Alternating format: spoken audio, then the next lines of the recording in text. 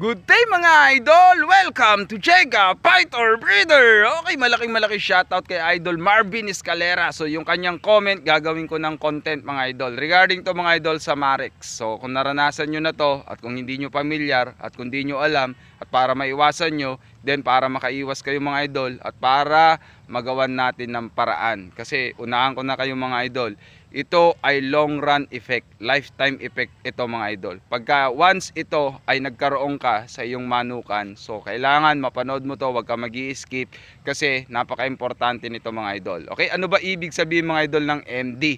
Ang MD mga idol, syempre wag na natin pagtagal, patagalin, syempre ang ibig sabihin niyan, malupit demo! De, joke lang mga idol. Kaya binanggit ko yan mga idol kasi unang-una nung bago pa lang ako gumagawa ng mga content, ng mga video, yung title mga idol, hindi ko na ilalagay yung gusto kong title kasi hindi na-approve yan. So ang gagawin nyo mga idol, pindutin nyo yung profile, tapos pindutin nyo yung videos na words, then scroll down nyo. Basahin nyo yung thumbnail kasi yan yung mga topic na ginagawa ko. Lalo sa mga silent subscriber, sa mga nanonood na hindi nakapag-subscribe kasi mas marami talaga nanonood na hindi nagsusubscribe. And dun sa mga newbie, sa ngayon lang napaklik, napanood dito sa ating uh, content topic na to. Ako talaga gumagawa ng mga content na regarding sa passion sa sports natin mga idol. So para mas madali nyo mahanap, isa pang paraan dyan mga idol is i-type nyo yung pangalan ng ating YouTube channel, Demo malupit! O kahit Idol Jega, lalabas na yan mga idol. Para i-click nyo lang yung profile pag lumabas and pindutin nyo yung words na videos para mapanood nyo mga idol. Okay? So eto na tayo mga idol. Ang ibig sabihin kasi ng MD, para mas magkaintindihan tayo mga idol, ito yung Marex disease or tinatawag na foul paralysis o paralysis na tinatawag. Ito yung nagpaparelease sa mga idol sa paa ng ating mga manok na nalulumpo at ang iba hindi na uh, maunat yung kanilang tuhod mga idol. At di na ito nakakatayo, gumigewang, tapos mga idol, pagka lumakad na out of balance, even ang kanilang mga pakpak ay apektado mga idol. At, at pati na rin yung kanilang mga lieg. Okay, so kung makikita nyo na pumipit yung lieg niya na parang ganon, okay, then pati yung ulo niya, nakadalasan na mas kilala na tinatawag yung mga idol na limber neck. Okay, ngayon, uh, nakikita yung mga idol pagka halimbawa is may mga ganitong sitwasyon. Okay? So, tumatama kasi to mga idol pagdating ng mga 8 to 20 weeks. Pero minsan napapaaga ang uh, pagtama nitong uh, virus na to mga idol 3 to 4 weeks lang. Okay? So ito mga idol ay common na sakit na nagdudulot ito mga idol na tinatawag na herpes virus. So ano ba yung ibig sabihin ng herpes virus? Ito mga idol yung mga apektado talaga infected ng lifetime nga and long run effect nga ito. Then ito mga idol ay treatable pero hindi siya curable. Okay so pwede mong i-prevent pero hindi natin pwedeng maliteral na magamot pagka infected na mga idol. Ang iba mga idol ito yung mahirap walang sintomas. So bigla na lang yan mga idol na talagang literal na namamatay. So ang iba naman na nagiging sintomas nito bukod dun sa unang nabanggit natin, so ito mga idol nawawalan ng gana kumain. Syempre ang susunod dyan pag nangyari, gagaang na yan mga idol. Okay, magiging anemia na siya, then madidehydrate na, nagkakaroon na rin mga idol ng diarrhea. So mapabakyard man to mga idol o kaya game farm o kahit sa mga commercial, sa mga poultry, talagang tinatamaan nito mga idol.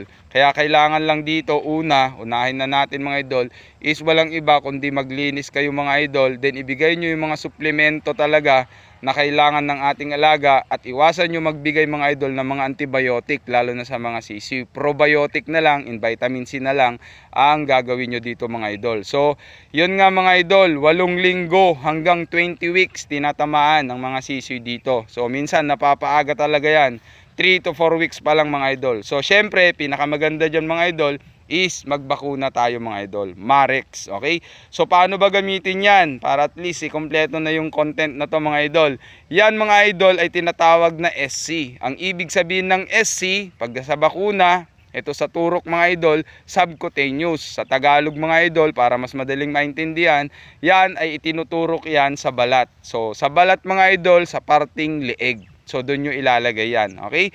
So ang nagiging ano kasi nito mga idol, outcome pa minsan. Like for example, bakunado ang inyong mga manok ng Marex. Ngayon bumili kayo sa akin o kumuha kayo sa akin ng manok na hindi bakunado. So pag dinala nyo yung manok na galing sa akin, nilagay nyo sa inyong manukan mga idol, okay? Pwede ngayon siya ang magiging carrier o pwede ngayon siya na magkakaroon ng tinatawag mga idol ng Marex. Kasi yung inyo ay may Marex na bakuna, alam naman natin, ang mga bakuna mga idol ay mga virus din yan. Okay? So ngayon, yung aking alaga na galing sa akin na kinuha nyo, na inilagay nyo sa inyo, ay pwede siya magkaroon ng Marex mga idol. Kahit yan mga idol ay magulang na. Okay? So dun sa unang binanggit natin ay mga weeks lang na nangyayari sa mga sisiw. The same time, vice versa mga idol, like for example naman, hindi kayo nagbabakuna, then ang nangyari, kumuha kayo ng manok sa akin, o bumili kayo, o kaya naman mga idol, eh, nakakuha kayo sa ibang lugar, then dinala nyo dyan na bakunado, Then, ang mangyari naman, okay, so yung mga alaga nyo ang pwedeng magkaroon naman mga idol. So, pwedeng carrier ang tao dito, even ang mga equipment, pero mga idol, hindi ito delikado pagdating sa tao, okay? So, nagdudulot ito mga idol talaga ng literal na pagkamatay ng ating alaga. Apektado kasi yung kanilang mga ugat. Okay, yun ang nagiging problema. At ang nakikita nyo mga idol na umiikot nga yung ulo na halos pumulupot sa leeg, Then, ang nagiging outcome nito mga idol, syempre, limbernick nga yan. So, nagkakabukol mga idol yung kanilang atay. Dahil ito nga yung kanilang internal organ. Pati ang puso, apektado, even ang kidney at saka sa ovary. Ang tawag nila dyan mga idol ay tumor. Okay? Sabi nga nila, ang tumor hindi daw delikado. Pag naging tremor daw yan mga idol. Lalo na pag naging forevermore. Ang pinakadelikado, no more. O, di ba? No more medication. De, joke lang. Okay? So, kung halimbawa mga idol, walang gamot sa Marex, so paano to? So, ibig sabihin talaga mga idol is kailangan talaga na naagapan nyo. The same time mga idol is nakakapag-disinfect, sanitize talaga kayo mga idol. Okay? Pero ngayon, hindi ito mga idol na ipapasa ng brood hen sa kanyang itlog at hindi rin ito na ipapasa syempre sa kanyang sisiw. So wala ito mga idol sa tinatawag na genetic. So yun ang nagiging ano niyan mga idol pagdating sa Marex. Ngayon, shoutout muna tayo mga idol kay Michael Jason Royo, Sammy Sibilla, Crystal Shane Mungkada, Ramil Ongo, Jobeto Rivera, Silvero, Silveria Bye, uh, BJ Tihada. Okay, so syempre malaki shoutout kay Marvin Escalera dahil sa kanya tong content na to. Then Debs Ramos, Jofer Mariano, EMKK Game Farm, okay, kay Sir Idol Mark Siberia, Sib, Siradelia from Honolulu, Hawaii, USA. Kasi siya yung owner mga idol ng EMKK Game Farm. And Alex Lames Poros, So sagutin natin yung kanyang ano uh, message sa akin mga idol kasi yung pakpak ng kanyang alaga dagdag natin ay biglang nabalda daw, hindi naman daw binibitaw. Ganito kasi yung nagiging issue diyan mga idol. Pagkalimbawa masikip ang inyong mga limber, masikip ang inyong mga kulungan. Ngayon, hindi na ipapagaspas ng ating mga alagang manok yung kanilang pakpak. Ngayon, ang magiging outcome niyan mga idol is nababalda talaga. Napansin nyo mga idol minsan nangyayari. Halimbawa, inilagay mo yung alaga mo rito sa banda rito Then pag nailagay mo, pag may harang na mga ka, mga damo na ganyan, 'di ba? Pag ipapagaspas niya, minsan iniipit niya yung kabila, then ang napapagaspas niya yung kanan. Kaya pag nasasanay yung alaga natin mga idol na pagka ipapagaspas niya kasi titilaok siya, kaya mag-stretching siya. Ngayon, kung halimbawa may mga harang-harang yan at talagang hindi literal na maluwag mga idol, so yun yung nagiging outcome na nababalda yung ating alaga. Kaya pagka once inilabas mo na, kinord mo na, nagiging outcome dyan mga idol. So akala mo, literal na balda na. Ang gagawin mo lang dyan mga idol is ilalabas mo lang siya, then imamassage mo siya. Then para mas maganda mga idol yung daloy ng kanyang dugo, kuha kayo ng medyo maligamgam na tubig, lagay nyo lang sa bottle, the same time ilagay nyo, lagyan nyo ng tela, then imamassage nyo mga idol para yung mga medyo natutulog na ugat, the same time yung mga muscle is magising ulit, then para mag-stretch siya ulit din para maibalik sa dati. So yun mga idol, iwasan nyo literal talaga na inilalagay yung ating mga alaga sa mga kulungan. Kasi ang uh, disadvantage pa niyan mga idol ay pagkalimbawa dumating kayo dun sa schedule na ginamit nyo na sila.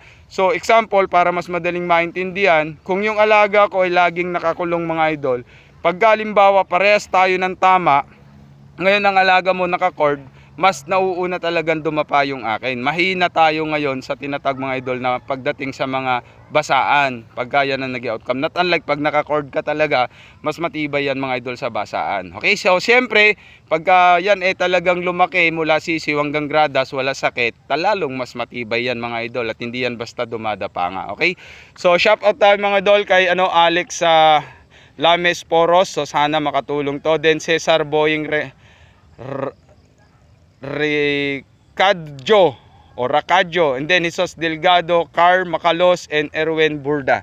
So maraming maraming salamat talaga mga idol. Then sana tong ah, content na to ay ah, makatulong sa inyo kasi ang hirap talaga mga idol pagdating sa ganito. Kaya ang gagawin nyo lang dyan mga idol pagka kayo ay dinadali ng mga ganito, kailangan is ah, gumamit kayo ngayon ng tinatawag na mga bakuna. Ngayon, kung hindi kayo familiar mga idol sa mga dalawang uri kasi ng bakuna, live vaccine and killed vaccine, subukan natin ilagay dyan sa description. So, paano ba mahanap yung description, yung link na yan?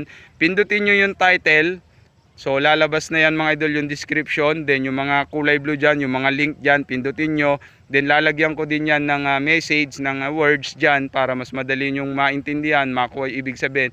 Then, i-click nyo para mapanood nyo yung ginawa kong content regarding dyan mga idol. Para magkaroon kayo ng idea. Kasi nandun na rin kung paano talaga literal na mag-apply ng mga ganyan mga idol. At kung paano maging safe, tapos talagang sigurado kayo. So maraming salamat.